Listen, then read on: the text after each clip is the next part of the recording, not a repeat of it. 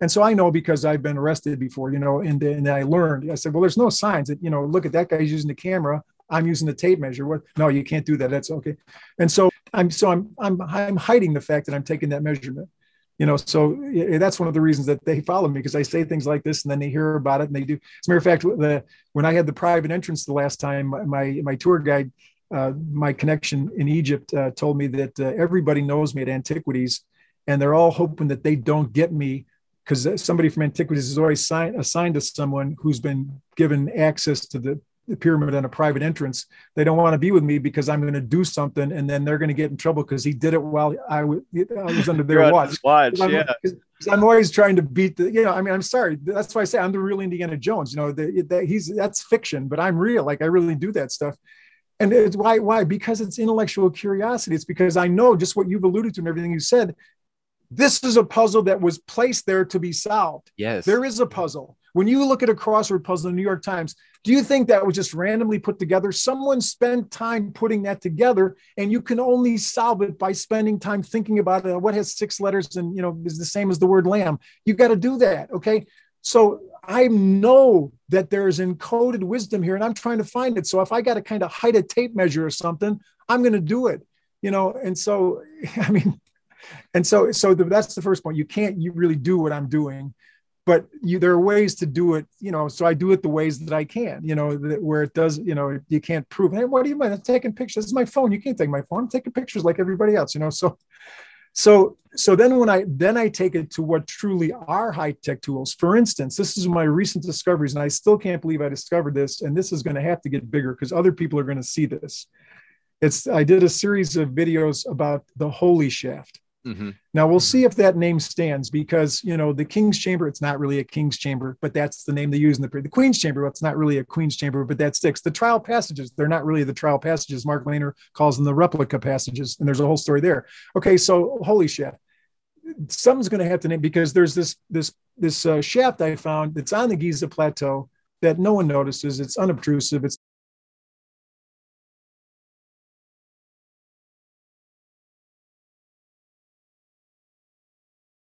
nothing, and it's connected to everything.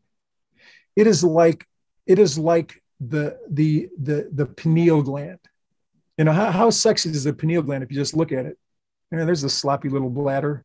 There's an ugly little lizard. You know I mean, how how sexy does the pineal? And that, so I found this little. And you know what? What I found is through the modern technology we're talking about, you can measure things on Google Earth. And I'm led to believe it's a pretty accurate measurement because the GPS that that uses that measurement is the same one that keeps a car going 100 miles, well, 70 miles an hour on a California highway that has no driver in it, staying about this far apart from the car that's coming the other way. So the same technology that keeps the driverless car from hitting everything is the same GPS technology that Google Earth uses when I'm drawing their little line across there to tell me it's 59 inches, it's 58 feet, it's 47 meters that's I'm connected to that same massive technology, right? So what I found is from the holy shaft, it's an even 100 feet to almost everything.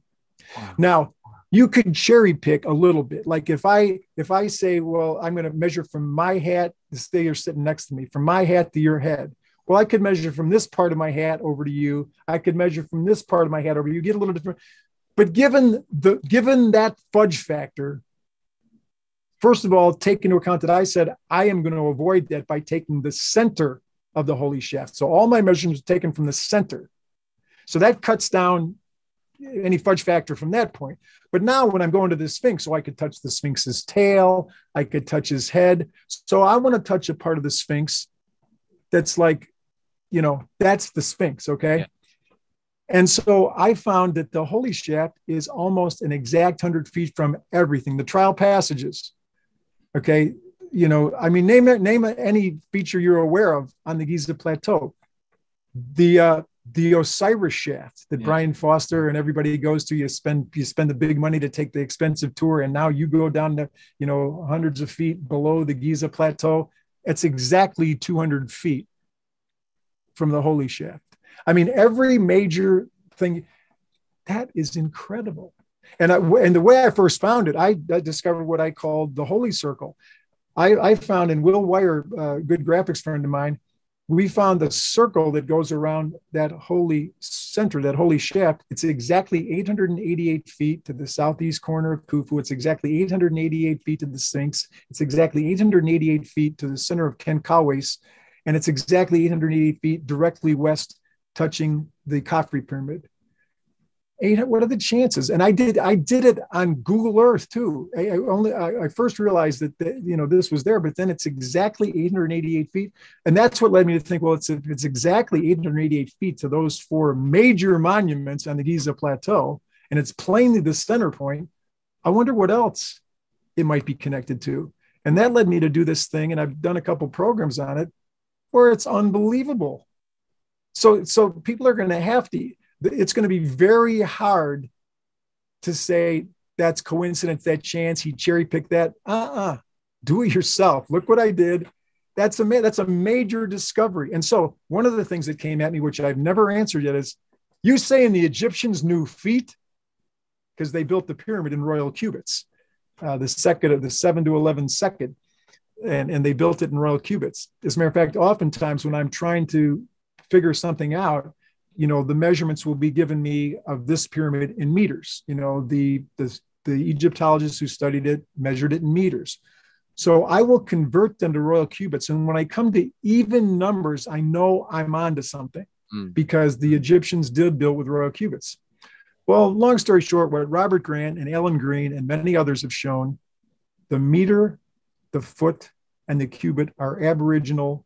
They're connected ontologically you know, and I, I could say more about that, but but and I just saw Robert Grant answer somebody plainly. The meter is used in the King's Chamber, and he and he gives examples. It's exactly I think uh, you know 314 uh, meters around three. In other words, 3.1415. It's pi yeah. pi yeah. meters around the et cetera, et cetera, et cetera. So there's all kinds of examples you can show.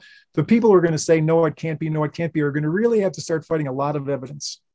And so for me, it's easy to say there's an aboriginal connection, and I could explain it geometrically and stuff too. For instance, you take a one meter pendulum, just take a one meter pendulum. So here's exactly one meter, the modern meter, swing it at 30 degrees. It swings out exactly pi over six because it's 30 degrees out of a 360 circle, pi over six, which is exactly one royal cubit. So one meter swung at 30 degrees swings out an arc of exactly one royal cubit. And it takes, by the way, exactly one second. So now it's connected to time and the rotation of the earth. So you don't have to go far. You don't have to go far to show an ontological aboriginal connection to cubit, meter, foot. So I, I, haven't really answered that yet to the people that say, you're saying the Egyptians knew the foot. I'm saying there's a tremendous intelligence in operation here, people. I'm not saying what the Egyptians knew because I think it's more than them, but there's a tremendous intelligence at play here. Okay. Yeah. Just mind blowing. So, just for clarity, what is the foot uh, in comparison to the cubit? What's the difference size wise? Uh, what I always use, and, then, this is going to depend. If you just go, you know, uh, pi over six, it's 20.6 inches in a royal cubit. Okay. So it's just shy of a foot. Well, 20.6 Oh, inches. Inches for one cube. In, in oh, okay, just shy. So I, I, didn't. Okay. I didn't give you a foot royal cubit connection. I gave you an inch royal cubit connection. I mean, you can do the conversion just divide by twelve, or you know. That's right. okay. yes, sir. Okay, yes. two. Okay. Uh, you know what I love about the uh, shaft that you're talking about is is that this feels very Indiana Jones, doesn't it? This feels very. there is a mystery here. Uh, and you found it in a very indescript way. While other people are looking at the the forest you're you're seeing the trees. You're you're looking at the other people see the great pyramid they, their focus goes there but it's kind of the indiana jones connection in my mind is the uh, holy grail. Whenever he goes in to pick the grail it's not this ornate beautiful thing. It's this crappy little cup over here. That's what of course it would have been. Yeah. just like your yeah. your your great chef that that is sort of the key to unlocking all the mysteries around it. It's very indescript. It's very out of the way. There's no neon signs pointing towards it, but you found it. That is and Indiana Jones. You, you know what really excites me along those lines, Brandon? We just talked about how yesterday or today, depending on how you count the, the where the, the difference in time between Egypt and here, they moved the the Khufu boat from uh, the uh, from the Giza Plateau to the new Gem Museum. Well, one of the reasons they did that, they said because they weren't going to. The whole point was that you know there were two boats found there right next to each other. The, the current solar boat pit that was just moved, that's on the east of the south side. But there was another boat found on the west part of the south side. That was the one that they that uh, Bob Brier, the Egyptologist, was working on reconstructing and doing a video about it. And then they were going to take that one to the gym. So it'd be one at the gym and one left at Giza. The reason they decided to take both of them one of the reasons that antiquity stated was because they that side of the pyramid has been off limits to everybody and they went because they're building tourism they want people i'm so excited because i have I one of my marks is I've learned to start interpreting this language of the markings on the north and the east side. Now the south side is going to be open to me. I'll be able to go in there and find marks that have in the in the providence of things and the synchronicity of things are just now going to be open. So when I go in October, that's going to be one of the places where I spend a lot of time because I'm assuming that they'll have moved the the uh, the the uh, foundations and stuff of that museum and moved it out so they can let tourist traffic go in there. Because again, that's one of their stated goals. I wouldn't have thought in the past that wouldn't have been a high goal of antiquities to let people at the pyramid. That's almost antithetical to the way they used to think. But there's a new thinking. Think about this. The Egyptian government did the strange and wonderful thing of combining two departments of state that nobody else combines. You've got on one hand, you've got uh, the the uh, antiquities sifting through every grain of sand this conservative science you know don't give too much you know don't let people see it preserve the pyramid and then on the other hand you've, you've got uh, you know tourism hey, come to Egypt. It's the greatest place in the world. Yes. So you've got the hype of tourism. They combine those two departments. And so now tourism and antiquities are the same department.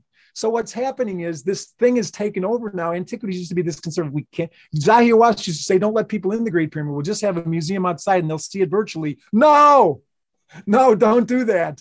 You know, and so now that they've done, they want people to come. They want people to experience Egypt. And so they want them to walk on the south side of the pyramid. So they're probably going to move all their foundations and stuff out of there so people, so the traffic can flow around the south side of the pyramid. So that's great. I'm wow. looking forward to, to looking at the marks that'll be left after they move those boat pits and stuff. That's so exciting, and we're gonna keep up with you, man. Uh, we'll probably wrap it up here, but it was. Tell me one more amazing thing. Like what? What it just blows your mind about this complex over there in Giza? Okay, well, one thing. This is one of my discoveries with my friend uh, Bob uh, Bob Criley, who's uh, an engineer. Is I discovered the Hemiunu template. Now it's